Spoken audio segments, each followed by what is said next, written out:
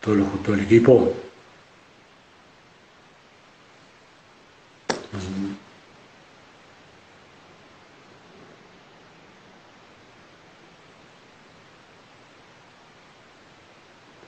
No prende la cámara de Fernando, me parece.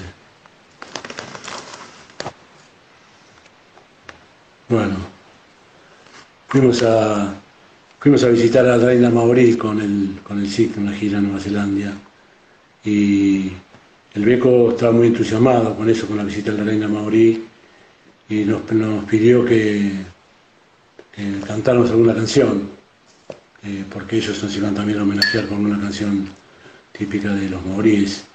Y nosotros cantamos la, marcha de San Lorenzo, que la dirigió Fabián Ferraro, me acuerdo, y entramos, la, cantamos, practicamos el saludo con la nariz, cosa que hoy no se podía. Y finalmente cuando entramos cantábamos todo y la reina Maurino estaba porque tenía que cumplir actividades en otro lado. Y, yo, yo, le dije al Beco, Beco, qué blef esto, qué fiasco que fue. Y ahí se acuñó una frase que me dijo un montón de tiempo, después toda la gente la sabe, que, que dijo, terminar con esas ironías tuyas que lastiman. Eh, me quedó ese, esa frase como la conocen todos los que jugaron en esa época, ¿no? Y bueno, no sé si Fernando aparece, pero ahora, ahí, acá.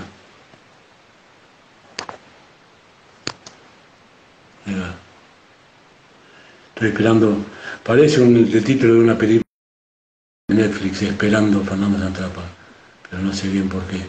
Me parece que ahí está, ¿no? Ahí estamos. Ahí aparecimos de vuelta. Nos costó, ¿viste? Faltó apoyo, ¿viste? El Winnie, entonces la línea. Una... Van a distintas ahí, ahí ¿Eh? dije que entró Martín Sansó. Ahí entré yo. Que fue, Martín Sansó le puso... que fue justo que justo hablábamos de la de mi expulsión en el año 79. Martín se reirá porque fue el, fue el primero en ir a hablar con el árbitro en mi favor. Así que nada, Martín, un abrazo desde aquí. Martín, eh, Martín era un, verdadero crack, ¿no? Pero fingió ese día, ¿no? El golpe. No, qué fingir, pobre. tuvo que ir al, sanatorio, no, se pudo quedar al tercer tiempo, ¿no? No. Oíme. Y bueno, eh, ¿qué, de todo el tiempo que jugaste al rugby, ¿qué te quedó pendiente? ¿Algo que hubieras dicho, quisiera algo más, haber hecho algo, algo, algo que no, algo que no pude conseguir o que quedó en la cuenta? A ver, eh, yo estoy, me siento un afortunado, creo que me fue bastante bien. No tuve el honor de jugar para Argentina oficialmente, y si te digo que no me hubiera gustado, te miento, por supuesto. Pero bueno, eso pudo haber sido seguramente algo que me hubiera gustado, pero que, bueno, que no pasa nada, que, había muy buena gente y, gente que jugaba bien y ya está. Yo lo pasé, yo lo pasé muy bien, lo pasé muy bien igual y tuve la suerte, aparte de jugar en el SIC, que donde la competencia era tanta y donde las oportunidades de jugar partidos internacionales y eso también era bastante. Entonces, no he hecho de menos así ningún nada que me haya faltado. Me hubiera gustado lo otro, fenomenal, pero, pero no pasa nada, no, no, no me cambia el No, no pasa nada. Sí, yo, a mí siempre cuando me dicen Puma, Puma, yo jugué muy, muy poco en los Pumas a raíz de la suspensión que tuve y después, bueno, jugué, tuve la posibilidad de jugar, pero mi verdadera orgullo, mi verdadera carrera fue las 20 temporadas en el que esa camiseta que tenés ahí. y ahí no sé si se ve un poco. Te voy a contar, te voy a contar eh, que un, tema que vos no sabés, no, sé si sabés. Un día eh, jugaban los Pumas en Londres y yo viviendo aquí en Madrid, me acuerdo, eh, el entrenador era el Tano. Yo tenía ganas de ir a ver ese partido y iba a ir con mis hijos. Entonces hablé con un jugador, un ex del TIC, que yo conocía bastante, que jugaba en Sadas en ese momento. Eh, Digo, Tommy, ¿eh? ya sabrás quién es. Tommy, eh, ¿dónde me conviene sacar un hotel y qué sé yo? Bueno, yo me ocupo, me dice Tommy, Tommy de Belli. Y cuando dos días después me llaman y me dice, Esther, ¿me harías un favor? ¿Qué? ¿Podrías venir a mi casa? Y me acuerdo que te llamé y le digo, Tacho, mira esto, es increíble. tu hijo menor, de los menores, me, está invitando a su casa. Y fui a su casa con Manuel y Florencia, mis hijos. Fui a su casa, eh, fuimos a ver a los Pumas que ganaron en Twickenham la única vez. Y Tommy me hizo un regalo que tengo acá, que fue su primer camiseta de los Pumas. Mirá, qué bueno, qué lindo. Y mirá, si era de, los Sevens, del circuito de Sevens, seguramente. Y, la verdad que me llamó mucho la atención. Tommy era de esos chicos que, que venía al vestuario siempre, que nos enrollaba las vendas, etcétera. Y, uno no sabe el ejemplo que puede dar en los chicos, que eh, la influencia que podemos tener a veces en algunos chicos. Y Tommy, la verdad que era uno de esos chicos encantadores que venía al vestuario y nos ayudaba y tal. Y, y mira, y terminó dándome su primer camiseta de Argentina cuando uno no tiene ni idea de qué puede significar para otro, ¿no? Me pareció una espectacular. Yo, yo tengo una camiseta de los Pumas que me regaló tu hermano Carlos, de un sudamericano.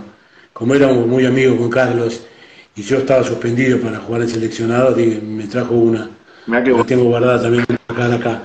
Y también lo de Tommy, también para destacar que él recién lo, lo escribían con Pepe Gamarra, eh, eran los areneros del equipo. Eh, se van a la arena y después terminasen vivir, durmiendo en la casa de él en Londres, ¿no? Eso es lo lindo de, del rugby, las relaciones, lo que hablamos recién, cómo une camadas y distintas generaciones, ¿no? Bueno, acá me pasa, me pasa, viviendo en Madrid, hay mucha gente que viene, mm, no solo amigos, sino, bueno, hijos de amigos que están de, están de paso, etcétera. Y, siempre, bueno, termina, de alguna manera terminamos, terminamos, eh, terminan viniendo a casa a comer los domingos, terminan pidiéndome dar una mano para jugar en algún equipo acá, y, son, sencillamente son hijos de amigos, que no los conocemos pero sí, sí, igual. Sí. Bueno, yo te digo, eh, en mi casa, yo tengo tres hijos varones, eh, hacíamos pequeños partidos en el jardín de, atrás, no era muy grande, pero usábamos la manguera para, marcar la línea de ingol sobre todo, y, que hacíamos partiditos eh, dos contra dos. y, Tommy, por ejemplo, decía, yo soy Fer Santrapa, y cada uno trataba de ser de alguno de los jugadores, ¿viste? Facundo por ahí decía, yo soy el Tano Lofreda, y Francisco, no, me acuerdo, pero decía, yo soy... No, fue, la verdad que creo, creo, que nos tocaron unos años... Jugaban, con eso. Y cuando salíamos a, comíamos con Luke y Glastra ahí, y salíamos al, para el club a, ya directo para ir al club a, jugar, salíamos a almorzar en casa, nos hacían una especie de calle los chicos todavía. Nos decían, vamos carajo, vamos, que no podemos perder, eh, vamos, no estamos morcillos, juegan este partido es importante Después venían y hacían de areneros. Así que compartían mucho con nosotros. La verdad que lo que me queda, vos recién preguntabas qué me hubiera gustado. Yo creo que de lo que, de lo que me queda, eh, hay mucha gente que teníamos muchas diferencias de años, ¿no? Pero ahora con los años que todo eso se empareja y desaparece, eh, el cariño que, que, tengo con Luke Glastra, con jugadores que, con, con gente que hemos compartido equipos y en el momento de jugar juntos quizás teníamos cuatro o cinco años de diferencia, hoy desapareció todo eso y tenemos experiencias en común espectaculares, situaciones que, nos, que hemos compartido muy divertidas y en nuestro caso, bueno, muchas con final feliz, con lo cual la verdad que, que, lo pasamos de puta madre, como dicen acá. Sí, sí, sí, de puta madre. Me olvidé de contar el remate del cuento cuando tu hermano Carlos se quejó, ¿eh? que, que, no, que no estabas en el equipo que vino y me dijo, ¿quién hizo el equipo? ¿El capitán Piluso? Era Alberto Almeida, que por ahí no lo conocen los chicos de ahora, pero bueno, interpretar ese papel, ¿no? Te defendió, tienes que estar contento que tu hermano te defendía. Pues no, sí. No se una vergüenza. y Carlos decía las cosas que no le gustaban, ¿no? Este, pero bueno, eh, vos eh, seguramente eras, eras un hombre traigo del equipo. Yo cuando vos recibías la pelota ya sabía que había posibilidad de try. Y tenés, no sé, tenés en tu cabeza cuáles fueron tus mejores tries, algunos que te que recuerdes. No, la verdad que el otro día me, me preguntaron, eh, hablábamos de este tema, y no, a mí lo que tenía era desesperación por esa línea, había que llegar a esa línea.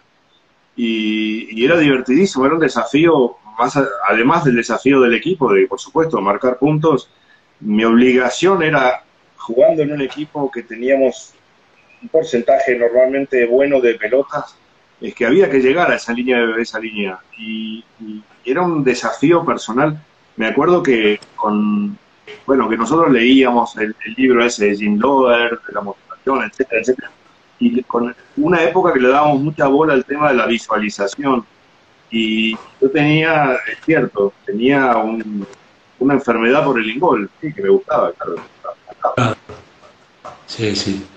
Vos, eh, la visualización eh, implica eh, pensar en imágenes, no en palabras, ¿no? Y uno, yo por lo menos, yo visualizaba siempre algún jugador que me gustaba. A mí me gustaba, por ejemplo, Alan Wetton de los ¿no? Y por la manera que jugaba, se golpeaba, eh, parecía innecesariamente todo, pero lo admiraba por eso, me gustaba tratar de, de, alguna, de alguna manera, ser de ese modo, ¿no? Y, bueno, eh, un win, como, vos, como jugás vos casi siempre, tiene que tener el gol dibujado en su cabeza, ¿no? Y el hambre, el hambre de trae.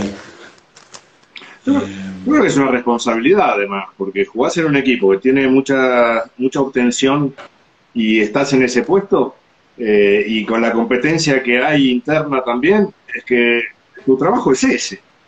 Eh, tu, cometido, tu cometido es ese. Lo que pasa es que, bueno, yo creo que por ahí a veces le agregabas un plus de, no esperar en tu quintita ir a buscar la pelota, de buscar un poco de, de, hacer un, poquito, como decía, como decía el gringo, mm. siempre hacer lo que se debe, sino hacer lo que se puede. Sí. Hacer un poquito más de lo que se debe. Sí, seguro. este plus es donde podíamos agregar valor cada uno por saliéndose del guion del equipo. Sí, y era una época en que no se festejaba nada. Vos hacías el try y volvías con toda seriedad y como, como decís, dijiste hace unos minutos, es como que no habías hecho otra cosa que cumplir con tu trabajo, ¿no? como se vivía un poco de esa manera. Eh, ¿Qué opinás vos de... Vos tenés hijos que juegan ahora en el, de España y todo, y yo los he visto y son unos grandísimos jugadores y se festeja por ahí un try ahora.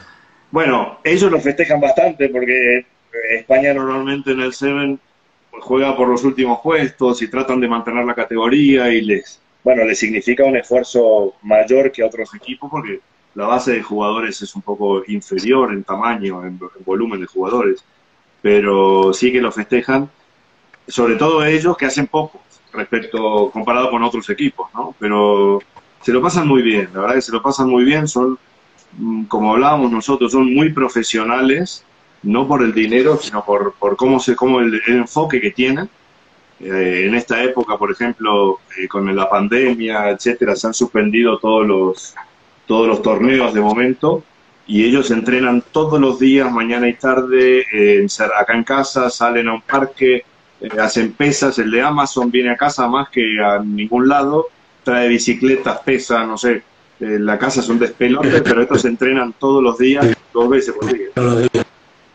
Bueno, vos eras un tipo que se entrenaba bastante, yo recuerdo, no sé si todos los días, pero estás muy pendiente de tu estado físico. Bueno, nosotros también, justo el otro día recopilando notas de los tiempos de dorados de los 70, había una nota de Roberto Maidana en el cual acusaba a los jugadores del SIC de ser profesionales. porque decía que se entrenaban, que se entrenaban casi cinco veces por semana y detallaba eso. Lo que los convierte en profesionales era como, como una, haber faltado una regla, ¿no? Como una ofensa del rugby, lo consideraba. No, pero yo me acuerdo que, me, acuerdo que nosotros empezábamos exactamente un mes antes que empiece el torneo a entrenar. Lo que pasa es que nuestra responsabilidad, que nos dejaba en nuestra mano, era llegar el primer día en buen estado físico. Entonces yo me acuerdo, yo me acuerdo de haberme juntado con vos y con muchos otros durante el verano a correr, a hacer eh, determinadas cosas, pero oficialmente empezamos un mes antes, en una época que se entrenaba martes y jueves, oficialmente. Cada uno después ponía lo que había que poner. Yo me acuerdo que jugaba, todos los miércoles jugaba el squash para, para tratar de estar un poco mejor físicamente, qué sé yo. Cada uno le ponía, unos se hacían pesas, otros hacían otras cosas, qué sé yo pero éramos muy profesionales de mentalidad, sí, es cierto. Sí, de mentalidad, tal cual. La actitud era profesional, pero bueno, la dedicación era tipo que laburábamos y teníamos trabajo, familia, todo, y nos entrenábamos en horarios que el rugby no, sobre todo a la noche. Yo me acuerdo que, cuando jugamos contra Australia en el año 87, que empatamos, el equipo de australianos tenía 22 años y pico de promedio de edad y nosotros teníamos 27 y pico. De los 15, el 14 habían terminado la universidad, todos trabajábamos, estudiábamos, y, la dedicación deportiva era mentalmente eh, Pero por otra parte, a ver, no nos engañemos. Hoy los chicos que juegan tienen un estado que nosotros no tenemos. Eh, la gente, la gente, a mí no me gusta la gente que dice en mi época éramos mejores, los chicos de ahora son buenísimos cada uno en su época. Cada uno. No es comparado. Cada uno. Yo veo, yo sigo el Seven por mis hijos, etcétera, y a veces tengo oportunidad de viajar y ves ahí estás con los samoanos, fisianos, qué sé yo, son atletas increíbles. De, verdad que es espectacular la preparación que tienen los tipos. Eh, yo creo que jamás, yo, yo me entrenaba mucho, nunca tuve una preparación parecida a tipo. Sí, son otra cosa. es verdad eso. Bueno, eh, tenemos el tiempo acotado porque cometí varias fallas técnicas, no sé qué pasó, si son de España o de Argentina, no nos vamos a echar la culpa. Pero te voy a hacer un, un ping-pong, donde te voy a preguntar cosas que vos tenés que contestar con una palabra nomás. A ver. Con un, en este caso. Que vos digas, elijas un jugador actual de los Pumas. Bueno, yo voy a barrer para casa, porque a mí lo que está haciendo Guido Petty, no en un partido, en, ya van más de dos temporadas, es extraordinario. Hay muy buenos jugadores, hay gente que destaca por un lado. Este es un crack, la verdad que me encanta. La verdad que Guido es impresionante, yo coincido con vos. ¿Y un jugador actual internacional que no, no sea de Argentina? A mí de... Soy malo para los nombres, pero del último mundial me parecieron extraordinarios los dos alas de Inglaterra, me parecieron impresionantes. Me gustó el medio scrum Puff, el medio scrum sudafricano. Y hmm. después me gustó, hay, nadie lo conocerá, pero a mí me gustó un win japonés que le hizo tres trays a Escocia en un mundial. Y ah, la verdad que la rompió. Y entonces, no sé, a mí me gusta, no, no, no, obviamente no sé los nombres, pero, pero hay jugadores buenísimos que los pillan en un momento oportuno, en el lugar adecuado y, la rompen toda. La verdad que hay buenísimos jugadores. Y yendo para atrás, algún jugador de tu época que no sea del SIC. Que no sea del SIC. Eh, a ver, a mí como Win, el mejor fullback que me tocó enfrentar fue sin duda Bernie Miguel. Eh, Miguel. Me parecía, un, me parecía un crack, la presión que le te metía arriba de todo no te dejaba pensar. Eh, sí, definitivamente. Sí. De, a Martín eh, que era un tipo que pisaba antes de agarrar la pelota, era increíble lo bien que jugaba. Sí. Y Martín, aparte, como pateaba también, ¿no? Yo recuerdo un día que metió un drop de mitad de cancha. No, Martín lo veía con 70 kilos, la patita flaca, decía, ¿cómo hace? Y de atrás de mitad de cancha la metía. No, no. Yo creo que no es comparable las épocas, los físicos. Nosotros lo pasamos muy bien. Nos, lo pasamos muy bien, nos divertimos mucho, pero ahora hay jugadores extraordinarios y creo que Totalmente. es una tontería no reconocerlos, son buenísimos. Sí, seguro. Bueno, eh, un equipo de fútbol, no, son el Barcelona ahora, no del Real. No, no, yo soy más, a mí me gusta más el Barça o el Atleti, el, el Real Madrid un poco menos, pero, pero, pero la verdad que no soy muy futbolero. A veces voy a la cancha del Atleti y me divierte, pero no soy muy futbolero. Eh, nombrame, bueno, a tu entender, un, un deportista de cualquier disciplina. A mí, a mí, me gusta, bueno, este año tuve oportunidad de, de, trabajar y de charlar bastante con el tío de Rafa Nadal. Yo como deportista lo, lo destacaría a Rafa Nadal. Un tipo que tiene una que ha, ha mantenido la humildad, eh, cada año se entrena más para, para conseguir mantenerse, tiene una capacidad de sacrificio brutal y, y, y, no le da muchas vueltas a las cosas, no pone excusas. Como dice su tío, eh, cuando Rafa por ahí pone alguna excusa, le dice, sí, vale, fenomenal, pero ¿sabes qué? Nunca una excusa nos ayudó a ganar un partido. Y el tipo, sí. y el tipo Eso es muy, cada año pensamiento Sí. Y bueno, eh, un hobby que tengas, porque no todo es rugby. A ver, yo cuando puedo me escapo a jugar al golf un rato, eh, pero no, me dedico, me gusta, yo vivo solo con cuatro hijos y, y la verdad que me dedico bastante a ellos y, y, me lo paso muy, muy bien con ellos. Un hobby estar con tus hijos que está muy bueno. Y ahora vienen preguntas más difíciles, ¿eh? Vos me preguntaste si había preguntas difíciles. No, no jodas. Que digas una virtud. ¿De quién? Tuya. No, eso decilo vos. Yo no sé. vos me conocés bastante, no sé. No, una, una, virtud es que, bueno, que sos un, sos un gran amigo y un tipo que sensible y que, que está cuando tiene que estar. La verdad que.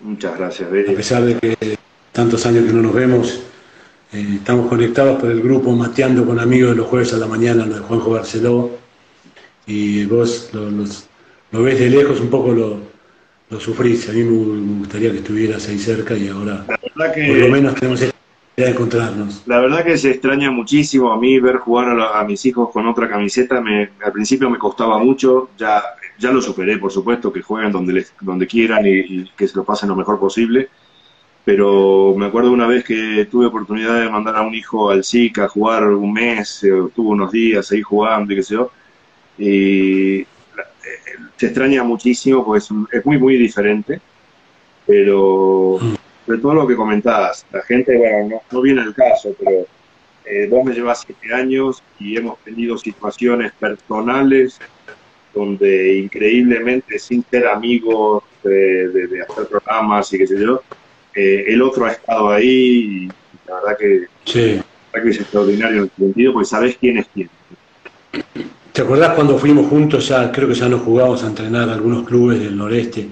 A Sixty fuimos. Me acuerdo que un día nos invitaron, fuimos juntos a Formosa y gente que había ahorrado todo un año para, para, para pagarnos un pasaje y me acuerdo sí. que yo le pregunté a, a Beco ¿te parece que podamos ir? Porque era un fin de semana que había que ir a hacer viernes, sábado y domingo. Y casi se enoja, me decía, ¿pero cómo no vas a ir? Sí, claro. Sí, se enojaba. Recuerdo que fuimos... Aprovechamos, le mandamos, un, le mandamos un saludo a la gente de Aguará, de, de Formosa y a Sixty de, del Chaco, que también los entrenamos, en un momento fuimos juntos. Después acá tengo, mira, acá tengo una camiseta también de, ¿te acordás de nuestro amigo Carlitos Chipitelli? Cap sí, capitán de Mendoza, capitán de Mendoza, bueno, sí. Carlitos pobre, bueno, tuvo ELA, murió. Eh, sí. Yo lo fui a visitar a Mendoza un par de veces desde aquí. Y, la sí, vos eras gran amigo de él, me acuerdo perfectamente. Y la última, Carlitos se puso la camiseta del SIC para un partido de invitación de los 40 años de los, de los bueno, no me acuerdo qué aniversario del SIC y me hizo llegar, antes de morir, tu última camiseta del Mendoza Rugby. Qué lindo, qué lindo. Y la hizo, llegar, amigos comunes y la verdad que hay camisetas que, que, bueno, que son el resumen de lo que fue el rugby para nosotros. Sí, yo lo recuerdo que siempre era, eh, tenía un gran sentido del humor y estábamos hablando de algo, nos escuchaba que estábamos charlando de algo y él venía y decía, no es así, no es así. ¿Te acordás? para, para joder nomás, ¿no? Para, provocar la risa. Ni sabía de qué estamos hablando, pero decía, no es así. yo, iba, por trabajo en esa época a Mendoza y tuve, bueno, más cercanía con él y, y la verdad que era, bueno, bueno, como en todos lados, nos han atendido muy bien en todos lados, hemos ido a todos lados. Este año estuve a fin de año en Río Cuarto con amigos de Río Cuarto y se acordaban de nosotros muy bien. La verdad que creo que la época que vivimos fue, no le podemos pedir más. El interior me gustaba mucho ir a todos lados, la verdad que mandamos un saludo a toda la gente del interior, de todas las provincias que nos gustaba ir a jugar a Tucumán, a Córdoba, a Mendoza, íbamos asiduamente, ¿no? Y bueno, ahora tenés que, esta sí la tenés que decir vos, que consideres un defecto que tengas. Yo creo que mi mayor defecto es que mi, la parte defensiva de mi juego era mejorable bastante. Y creo que por eso quizás no tuve otras oportunidades internacionalmente, etcétera. Pero, pero bueno, ya ahora creo que lo haría mejor ahora. Pero ahora estoy bien. Y seguro, seguro que ya lo hubieras aprendido, ¿no? creo, que ahora ya aprendí, pero me parece un poco tarde, pero, pero nada. Me parece que en ataque era mejor que en defensa y, y nada, y aparte lo veo en mis hijos que son mejores al revés, en defensa que en ataque. Entonces me divierto mucho. claro. Ah, a, ellos les tocó, a ellos les tocó defender mucho más que a mí. Mucho más, exacto. No, no. Para vos no venían tanto, por el, vos tenías mano, mano única. en un mundo tan convulsionado como este que faltan líderes y gente que uno admire y confíe, ¿podrías nombrar algún personaje de la historia que, que vos respetes? A mí me hubiera gustado mucho conocer eh, a Mandela. Eh. La verdad que leí, leí bastante y creo que lo que ha hecho el tipo me parece de una generosidad espectacular. Entonces, nada, sencillamente eh, creo que creo que ojalá y además hoy me parece que en el mundo en general faltan líderes. Yo veo que políticamente, y no hablo de un partido, de otro, veo que hay gente con muy poca preparación, intelectualmente bastante mejorable. Eh, creo que falta gente con otros valores y, nuestro aporte, por no lavarnos las manos y opinar siempre de afuera, es intentar que de verdad lo que transmitimos en lo que nos unió, que es el rugby, es eh, no, no con el codo, lo, no con el codo, vivimos con la mano, lo que predicamos. Muy buena, muy buen pensamiento. Y Así en pocas palabras, ¿qué, podría decir? ¿Qué significó jugar en el SIC? Eh, para mí significó muchísimo, muchísimo. Eh, qué sé yo, no quiero caer en, cosas comunes, pero mm, yo voy hoy a Buenos Aires casi, bueno, una vez por año, suelo ir a Argentina más o menos, y yo siento que cada vez tengo más amigos, porque las distancias de edades desaparecen, ya nadie se acuerda que mm. jugaba en la A, en la B, en la C, nos unen mucho más. Y, que voy, de verdad, siento totalmente local. Eh, ya sea pasado por trabajo de mandar mails a gente que de mi camada de otros clubes y el cariño que ha recibido fue extraordinario. Yo creo que sí tuvo mucho que ver con ellos por haber tenido en general una disciplina en todos, en todos los en una, disciplina bastante amigable. Malas, pero en general, porque yo porque me dio el club, es que me siento con gente de otros clubes, me siento muy como muy respetado, muy valorado. Sí, sí, va más allá de lo que yo que me veo el pelado que soy ahora y todo, digo, ¿cómo todavía la gente me reconoce? Me llama la atención. por los cambios físicos también que uno va teniendo y cómo, cómo se acuerdan de cosas que por ahí a veces me, yo subo alguna foto o algo y me dicen, ¿de qué año es? Y yo digo, no me acuerdo, sinceramente. Fueron muchos años. Lo importante es, eh, estoy llevando la pelota en las dos manos, no sé, cosas que no, no podría decir mucho. El otro de esta noche, hoy, no hoy, y a la madrugada cuando hablábamos, eh, decíamos que vos hacías tries que entrabas limpio al gol. Vos entrabas limpio y apoyabas con tiempo. cambio yo cuando hacía un try, había que sacar todos los escombros para ver cuántos tenía arriba. había llegado con lo justo. No, un día me acuerdo cuando un día me acuerdo cuando Juan Congelillo empezó a jugar en primera y un día me preguntó, Fernando, ¿por qué siempre apoyas en la raya? Y yo lo miré sorprendido, no me daba cuenta que apoyaba en la raya, pero normalmente yo llevaba con, empujándome con uno, agarrándome con otro y con otro a caballito. Y le digo, Juanjo, eh, no lo sé, pero vale lo mismo y a veces con, suerte llego a la raya. Eh, Conocías el reglamento, la raya era suficiente además, ¿no?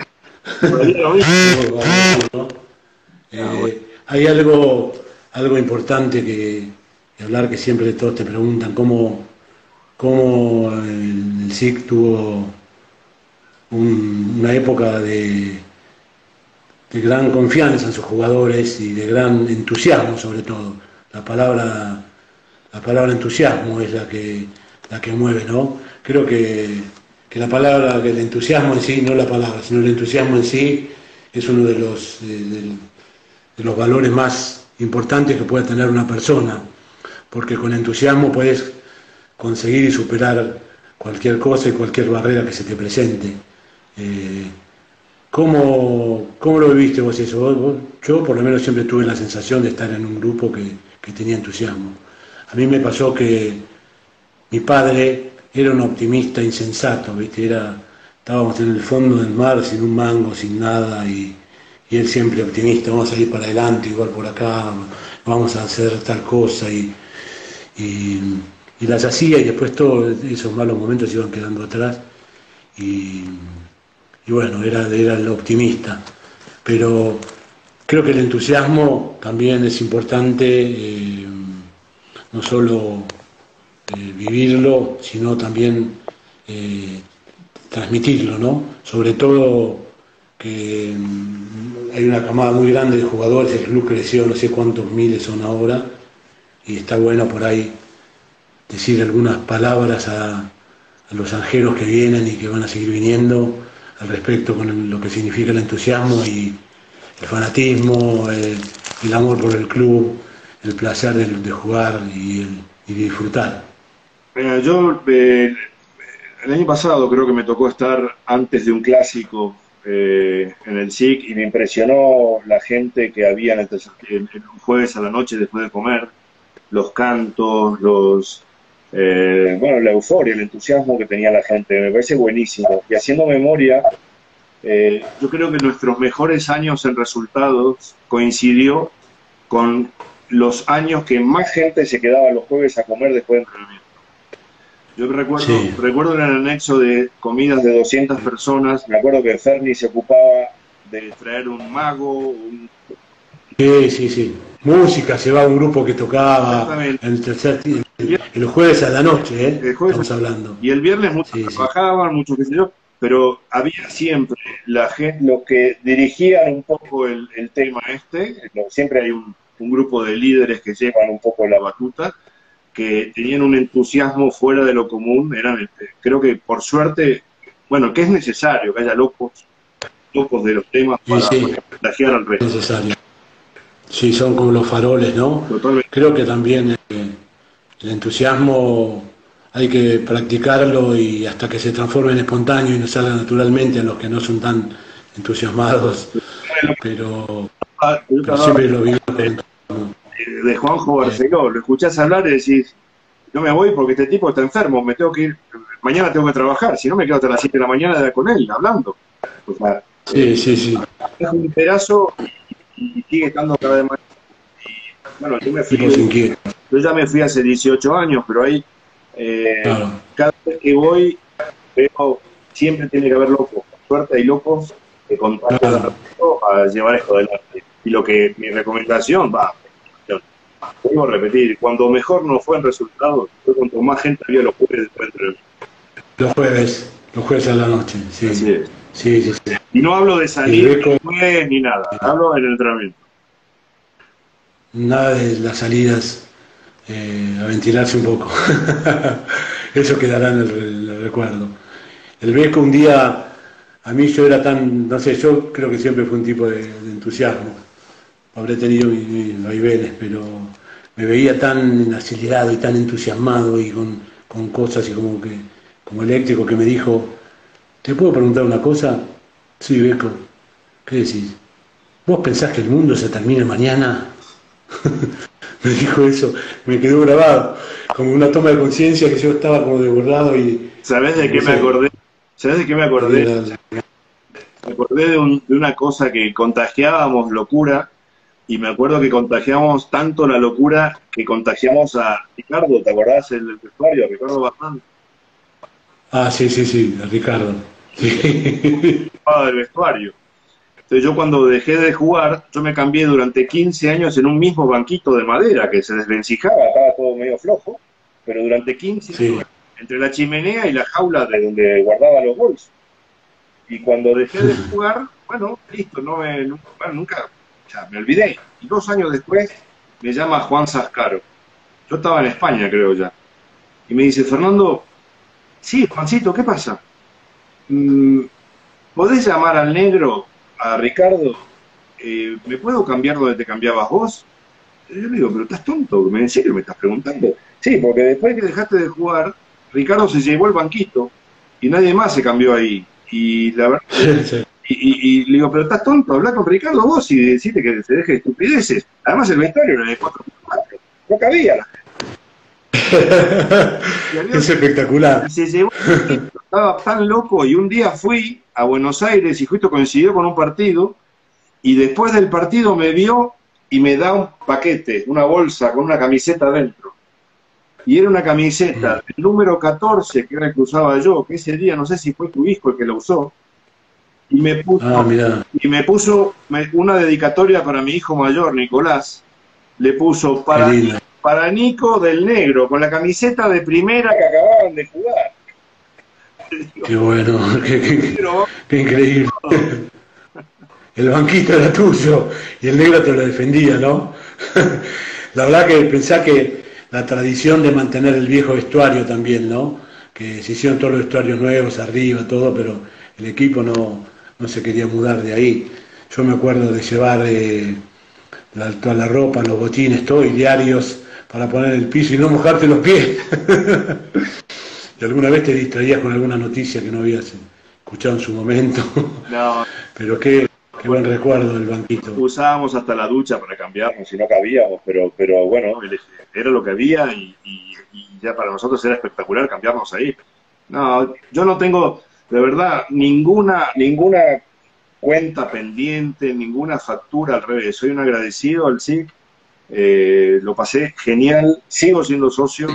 Eh, no sé, estoy seguro que si estuviera allí estaría intentando dar una mano a alguna división o, sobre todo profesionalmente. Aquí he trabajado mucho con equipos de, de empresas y de algunos equipos deportivos y me encantaría hacer cosas así, pero bueno, las cosas son como son y pero sí, sí que le tengo muchísimo, muchísimo cariño y unos recuerdos de, veintipico de años y muchos más años de amistad con, muchísima gente hasta el día de hoy. Y sí, yo no voy tanto, veo los partidos, todo, pero sé que el equipo, por ejemplo, campeón del, último torneo que se jugó, eh, que parece que no tuviera grandes figuras, porque es un típico equipo del SIC, pero tiene un, gran entusiasmo y una gran eh, actitud, ¿viste? que que tienen, esto que estamos hablando, ¿no? Que el entusiasmo no aparece por arte de magia también, ¿no? Siempre tiene que, tiene que uno que ponerlo en práctica y darse cuenta de, lo valioso de, poder disfrutar todo lo que, todo lo que recibís. Uno, uno también dice todo lo que das, pero también todo lo que recibís en un club como el SIC. Yo como, como decía, como decía nuestro amigo Michingo Reilly, al club hay que darle, no pedirle. Eh, creo que el club nos dio mucho y que no está de más que le demos todo lo que, todo lo que tengamos. Estos días estuve la oportunidad de, charlar mucho con un chico de Virreyes que, está, estaba enfermo y bueno, hablé por teléfono con él y que está saliendo y, la verdad que el, cariño que reciben esos chicos sean en, Virreyes hay gente con un origen muy, muy humilde y que estén terminando carreras universitarias, por el cariño que les da, por el entusiasmo de lo que los lideran, eso es aplicable al club, a cualquier club de cualquier origen. Sí, sí. Cada uno desde el puesto que nos toca, si bien los jugadores siguen siendo los protagonistas, eh, cada uno tiene que asumir el protagonismo que le toca y hacerlo con un entusiasmo. Entusiasmo y Generosidad. también la, generosidad y la, la, palabra es humildad y generosidad. Ya está. Sí, sí. La verdadera prueba siempre es la adversidad y superar la adversidad. También eh, hablamos del entusiasmo, pero también eh, otra, otro aspecto por ahí es la motivación, ¿no? Cómo, cómo se logra la motivación. ¿Qué, qué podrías decirle al, a los zanjeros jóvenes de, a ver, están realmente escuchando. A mí, me, como te dije, a mí profesionalmente me tocó trabajar con, bueno, colaborar un poco con, entrenadores del Real Madrid, con algunos otros de equipos deportivos, con empresas de IBEX 35 en temas de equipo, precisamente, Y la motivación, un poco, primero, cada uno tiene que venir un poquito motivado de casa, ¿sí? Pero, pero es cierto, motivación es tener motivos para la acción. ¿Qué, ¿Por qué estoy ahí? ¿Con, qué objetivo?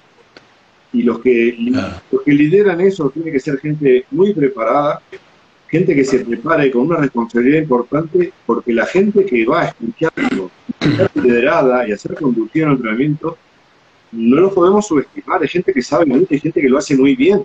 Entonces, la preparación de la práctica, yo me acuerdo con un día Federico Serra, después del entrenamiento, eh, yo ayudaba a la iglesia, y, y, Fede Serra viene y me dice, muchas gracias por el entrenamiento. Si conseguimos que esos chicos nos agradezcan el entrenamiento, algo bien estamos haciendo. Porque lo que tenemos que hacer es que esos chicos se lo pasen bien. Si nos lo pasamos bien, las cosas ponen mejor, no hay ningún Seguro. Sí. La, la motivación es como el motor para poder modificar las cosas o llegar a, a estar cerca de las metas de, que te has, eh, que has pensado, ¿no? Eh, yo, a mí también me ha pasado que después de mucho tiempo algunos jugadores eh, con los que jugué me han agradecido por, por, la influencia que tuve sobre ellos y me sorprendió porque no, no lo había pensado de ese modo, sinceramente. Así es, Tachín. Yo creo que el tiene, una, tiene una suerte enorme de tener tanta gente lo que yo creo que la preocupación, además de, por supuesto, mantener un buen nivel técnico, es mantener a la gente entusiasmada. Y mm. tener a la gente entusiasmada, la competencia interna es vital, es lo que necesitamos. Yo me acuerdo cuando eh, y Durker competían por un puesto, y eran íntimos amigos que ayudaban mutuamente a, quitarse el puesto al otro. Era extraordinario, la generosidad de entonces, claro, cuando le tocaba jugar al que sea, daba todo, pero sabía que el otro estaba afuera. Qué bueno. Sí, eso es increíble. Y conseguimos transmitir un poco de entusiasmo y agregar al que debe entrar de casa cada uno. Vos fíjate que la diferencia entre el gran jugador y un buen jugador está en el coco. ¿Sí? El número uno del tenis, no sé quién es, pero no es mucho mejor que el número 10. Pero gana siempre. Y, le, le, gana por el coco. Nosotros, ¿por qué jugamos tantos años ahí? Porque tuvimos un poco de coco que otro.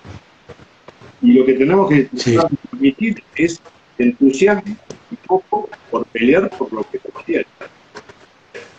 El entusiasmo es, es, es muy poderoso para modificar y transformar las cosas ¿no? en un grupo y se, y se contagia, ¿no? Se, se pasa de uno al otro y, y, no sé, es como algo que se hace natural. Yo cuando empecé a jugar, eh, me acuerdo que en entrenamientos yo iba de los punteros.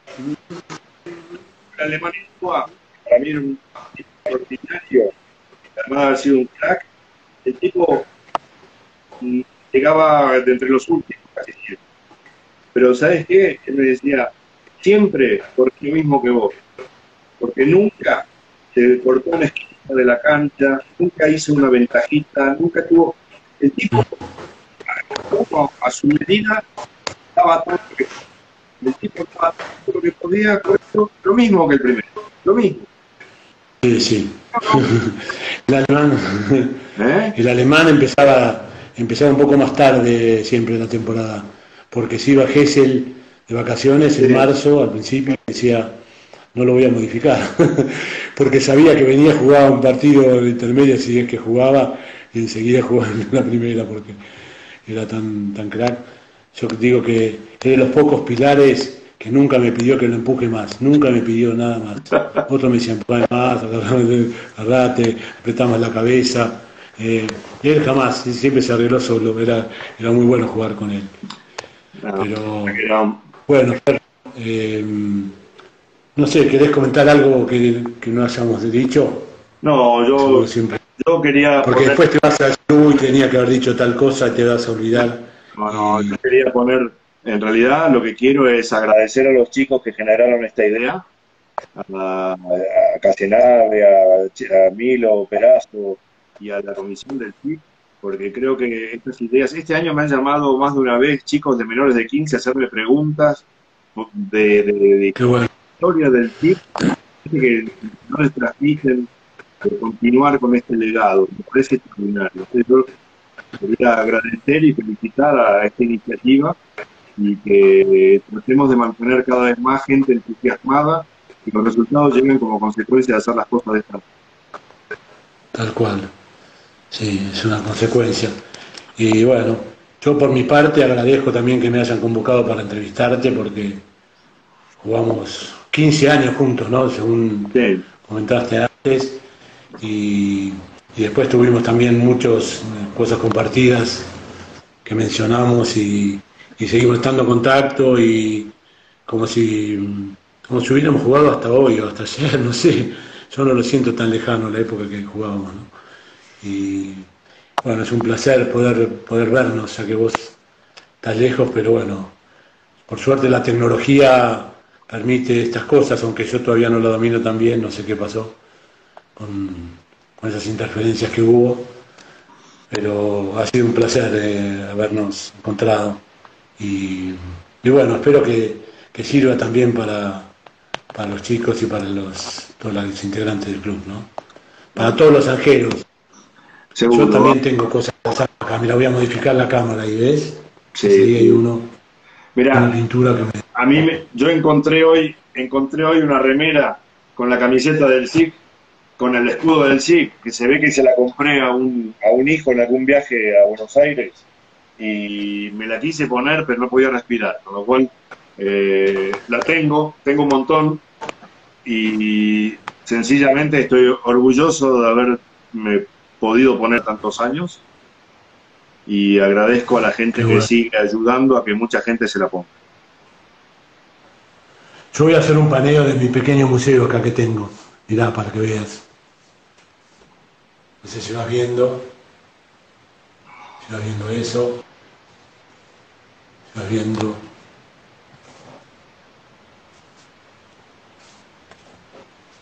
Y ahí arriba, majestuoso partido. ¿Pudiste observarlo? Sí, bueno. ¿Pudiste ver? Muy bueno, museo que bueno, eh, quedamos en contacto. Si pueden, pueden guardar la charla. Y voy a tratar de ver si la tecnología me permite guardar esta charla para después disfrutarla de vuelta mañana tomando unos mates. Bueno, te mando un abrazo muy grande, un beso a Patricia que te está ayudando a que hagas menos cagadas. Es la guía, es, mi guía es, mi guía, espiritual. Ah, porque yo también soy actor, me olvidé decirte. y ella me maquilla, me filma. Un abrazo muy